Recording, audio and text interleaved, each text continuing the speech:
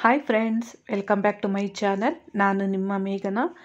ಇವತ್ತಿನ ವಿಡಿಯೋದಲ್ಲಿ ತುಂಬ ಸುಲಭವಾಗಿ ಟೇಸ್ಟಿಯಾಗಿ ಬ್ರೇಕ್ಫಾಸ್ಟ್ಗೆ ಖಾರ ಪೊಂಗಲು, ಅದಕ್ಕೆ ಕಾಂಬಿನೇಷನ್ ಆಗಿ ಚಟ್ನಿ ಯಾವ ರೀತಿ ಮಾಡೋದು ಅಂತ ನೋಡ್ಕೊಬರೋಣ ಈ ರೆಸಿಪಿ ನಿಮಗೆ ಇಷ್ಟ ಆದರೆ ನನ್ನ ಚಾನಲ್ನ ಸಬ್ಸ್ಕ್ರೈಬ್ ಮಾಡ್ಕೊಳ್ಳಿ.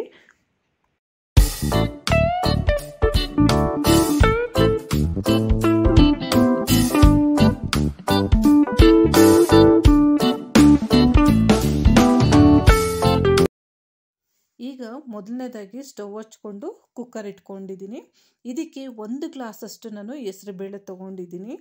ಈಗ ಕುಕ್ಕರ್ ಒಳಗಡೆ ಹೆಸರುಬೇಳೆ ಹಾಕ್ಕೊಂಡು ಇದನ್ನು ಮೀಡಿಯಮ್ ಟು ಲೋ ಫ್ಲೇಮಲ್ಲಿ ನಾವು ಫ್ರೈ ಮಾಡ್ಕೋಬೇಕು. ನೋಡಿ, ಈ ಗ್ಲಾಸಲ್ಲಿ ಒಂದು ಗ್ಲಾಸ್ ಆಗೋಷ್ಟು ಹೆಸರುಬೇಳೆ ತೊಗೊಂಡಿದ್ದೀನಿ. ತುಂಬ ಸೀಸಕ್ಕೆ ಹೋಗಬೇಡಿ ಹೆಸರುಬೇಳೆನ. ಆದಷ್ಟು ಚೆನ್ನಾಗಿ ಇದನ್ನು ಫ್ರೈ ಮಾಡ್ಕೊಳ್ಳಿ. ಗಮ್ ಅಂತ ಸ್ಮೆಲ್ ಬರುತ್ತೆ, ಅಷ್ಟುವರೆಗೂ ನಾವು ಇದನ್ನು ಫ್ರೈ ಮಾಡ್ಕೋಬೇಕು. ನಾನು ತೋರಿಸ್ತೀನಿ ನಿಮಗೆ ಯಾವ ರೀತಿ ಫ್ರೈ ಮಾಡ್ಕೊಂಡಿದ್ದೀನಿ ಅಂತ ಅಂದ್ಬಿಟ್ಟು. ನೋಡಿ ಫ್ರೆಂಡ್ಸ್ ಇವಾಗ ಹೆಸರುಬೇಳೆ ಈ ರೀತಿಯಾಗಿ ನಾನು ಫ್ರೈ ಮಾಡ್ಕೊಂಡಿದ್ದೀನಿ. ಈಗ ನಾನು ಅದೇ ಕಪ್ಪಲ್ಲಿ ಒಂದು ಕಪ್ ಆಗೋಷ್ಟು ನಾನು ಕೂಪನ್ ಅಕ್ಕಿ ತೊಗೊಂಡಿದ್ದೀನಿ. ಪೊಂಗಲ್ಗೆ ಕೂಪನ್ ಅಕ್ಕಿ ತ ಹಾಕಿದ್ರೇ ತುಂಬ ಟೇಸ್ಟ್ ಚೆನ್ನಾಗಿರೋದು. ಈ ಅಕ್ಕಿನ ಚೆನ್ನಾಗಿ ಒಂದೆರಡು ಸತಿ ತೊಳ್ಕೊಬೇಕು. ತೊಳ್ಕೊಂಡು ಇವಾಗ ಅಕ್ಕಿ ಹಾಕ್ಕೋತಾ ಇದ್ದೀನಿ. ಈಗ ಇದಕ್ಕೆ ಒಂದು ಕಪ್ಪಿಗೆ ಮೂರು ಕಪ್ ಆಗುವಷ್ಟು ನಾನು ನೀರು ಹಾಕ್ಕೊಂಡಿದ್ದೀನಿ ಅಂದರೆ ಒಂದು ಗ್ಲಾಸ್ ಹೆಸರು ಬೇಳೆಗೆ, ಒಂದು ಗ್ಲಾಸು ಅಕ್ಕಿಗೆ. ಮೂರು ಮೂರು ಗ್ಲಾಸ್ ತೊಗೊಂಡಿದ್ದೀನಿ, ಆರು ಗ್ಲಾಸ್ ಆಗೋಷ್ಟು ಹಾಗೆ ಇದಕ್ಕೆ ನಾನು ಅರ್ಧ ಕಪ್ ಆಗೋಷ್ಟು ಕಾಯಿ ತುರಿ ರುಚಿಗೆ ತಕ್ಕಷ್ಟು ಕಲ್ಲುಪ್ಪು ಹಾಕ್ಕೊಂಡಿದ್ದೀನಿ, ಹಾಗೆ ಅರ್ಧ ಚಮಚದಷ್ಟು ಅರಶಿನ ಪುಡಿ.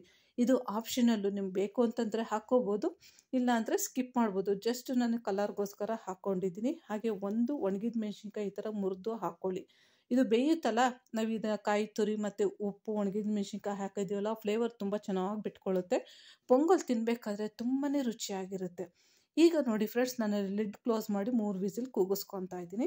ಅದು ಕೂಗೋಷ್ಟಲ್ಲಿಗೆ ಇಲ್ಲಿ ಚಟ್ನಿ ರೆಡಿ ಮಾಡ್ಕೊಳ್ಳೋಣ. ಚಟ್ನಿಗೆ ಅರ್ಧ ಕಪ್ ಆಗೋಷ್ಟು ಹಸಿ ಕಾಯಿ ತುರಿ ಹಸಿಮೆಣ್ಸಿನ್ಕಾಯಿ ಐದು ತೊಗೊಂಡಿದ್ದೀನಿ. ಶುಂಠಿ ಅರ್ಧ ಇಂಚು, ಹುಣಸೆಹಣ್ಣು ಸ್ವಲ್ಪ ತೊಗೊಂಡಿದ್ದೀನಿ. ಬೆಳ್ಳುಳ್ಳಿ ಎಸ್ಲು ಬಂದ್ಬಿಟ್ಟು ನಾಲ್ಕು. ದೊಡ್ಡ ಸೈಜಲ್ಲೇ ತೊಗೊಂಡಿದ್ದೀನಿ. ಯಾವ ಕಪ್ಪಲ್ಲಿ ನೀವು ಕಾಯಿ ತುರಿ ತೊಗೊಂಡಿರ್ತೀರೋ ಅದೇ ಕಪ್ಪಲ್ಲಿ ಅರ್ಧ ಕಪ್ ಆಗೋಷ್ಟು ಹುರುಗಡ್ಲೆ, ನಂತರ ರುಚಿಗೆ ತಕ್ಕಷ್ಟು ಕಲ್ಲುಪ್ಪು ಹಾಕ್ಕೊಂಡಿದ್ದೀನಿ ಈಗ ಇದನ್ನೆಲ್ಲ ಒಂದು ಮಿಕ್ಸಿ ಜಾರ್ಗೆ ಹಾಕ್ಕೊತಾ ಇದ್ದೀನಿ.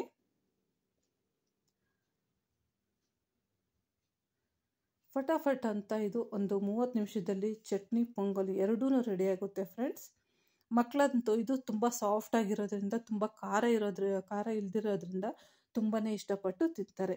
ಈಗ ನೀರು ಹಾಕ್ಕೊಂಡು ಇವಾಗ ಚಟ್ನಿ ರುಬ್ಕೊ ಬರ್ತೀನಿ. ಇದು ಸ್ವಲ್ಪ ನೀರಾಗಿದ್ರೇ ಚೆನ್ನಾಗಿರೋದು. ನೋಡಿ, ನಾನು ಯಾವ ರೀತಿ ನೀರಾಗಿ ರುಬ್ಕೊಂಡ್ಬಂದಿದ್ದೀನಿ ಅಂತ. ಪೊಂಗಲ್ಗೆ ಯಾವತ್ತೂ ಅಷ್ಟೇ ಚಟ್ನಿ ಸ್ವಲ್ಪ ತೆಳುವಾಗಿದ್ರೇ ಚೆನ್ನಾಗಿರೋದು. ಈ ಕಡೆ ನೋಡಿ ಪೊಂಗಲ್ ರೆಡಿಯಾಗಿದೆ ಮೂರು ವಿಸಿಲ್ಗೆ ಸಾಫ್ಟಾಗಿ ಇದನ್ನು ಕೂಗಿಸ್ಕೊಂಡಿದ್ದೀನಿ. ಇದನ್ನು ಒಂದ್ಸತಿ ಚೆನ್ನಾಗಿ ಮಿಕ್ಸ್ ಮಾಡ್ಕೋಬೇಕು. ಈಗ ಈ ಪೊಂಗಲ್ಗೆ ಒಗ್ಗರಣೆ ಕೊಡೋಣ ಬನ್ನಿ. ಒಗ್ಗರಣೆಗೆ ಇಲ್ಲಿ ನಾನು ಮೊದಲನೇದಾಗಿ ಒಂದು ಎರಡು ಸ್ಪೂನಷ್ಟು ತುಪ್ಪ ಹಾಕ್ಕೊಂಡಿದ್ದೀನಿ. ಒಂದು ಕಾಲು ಕಪ್ ಆಗೋಷ್ಟು ಎಣ್ಣೆ ಹಾಕ್ತಾಯಿದ್ದೀನಿ ಇಲ್ಲ ಬರೀ ತುಪ್ಪ ಹಾಕ್ತೀನಿ ಅಂತಂದ್ರೂ ತುಪ್ಪನೂ ಹಾಕ್ಕೋಬೋದು. ಎರಡು ಸೇರಿಸಿ ಹಾಕಿದ್ರೆ ಟೇಸ್ಟ್ ಚೆನ್ನಾಗಿರುತ್ತೆ.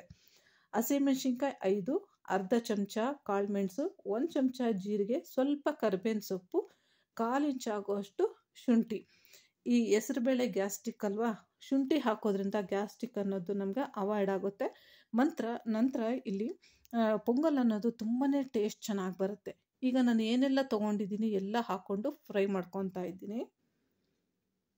ಫ್ರೆಂಡ್ಸ್, ಇದಕ್ಕೆ ನೀವು ಬೇಕು ಅಂತಂದರೆ ಗೋಡಂಬಿ ಕೂಡ ಹಾಕ್ಕೋಬೋದು ಇನ್ನೂ ರಿಚ್ ಫ್ಲೇವರ್ ಕೊಡುತ್ತೆ.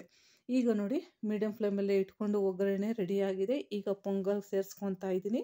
ಈಗ ಕೊನೆಯಲ್ಲಿ ಒಂದು ಅರ್ಧ ಕಪ್ ಆಗೋಷ್ಟು ಹಸಿ ಹಾಲು ಹಾಕ್ಕೊಂಡಿದ್ದೀನಿ ಹಸಿ ಹಾಲು ಹಾಕೋದ್ರಿಂದ ಅದ್ರ ಟೇಸ್ಟೇ ಒಂಥರ.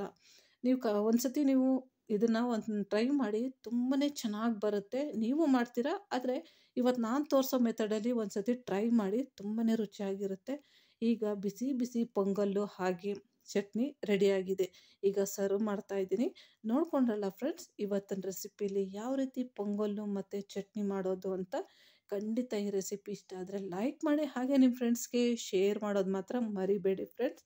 ನೀವು ಹೊಸ್ದಾಗಿ ನನ್ನ ಚಾನಲ್ನ ಸಬ್ಸ್ಕ್ರೈಬ್ ಆಗದೆ ನೋಡ್ತಾ ಇದ್ದರೆ ಪ್ಲೀಸ್ ನನ್ನ ಚಾನಲ್ನ ಸಬ್ಸ್ಕ್ರೈಬ್ ಮಾಡ್ಕೊಳ್ಳಿ. ಹಾಗೆ ಪಕ್ಕದಲ್ಲಿರೋಂಥ ರೆಡ್ ಕಲರ್ ಬಟನ್ನ ಕ್ಲಿಕ್ ಮಾಡ್ಕೊಳ್ಳಿ. ಮತ್ತೆ ಮುಂದಿನ ವಿಡಿಯೋದಲ್ಲಿ ಸಿಗೋಣ. ಅಲ್ಲಿವರೆಗೂ ಟೇಕ್ ಕೇರ್ ಫ್ರೆಂಡ್ಸ್. ಬಾಯ್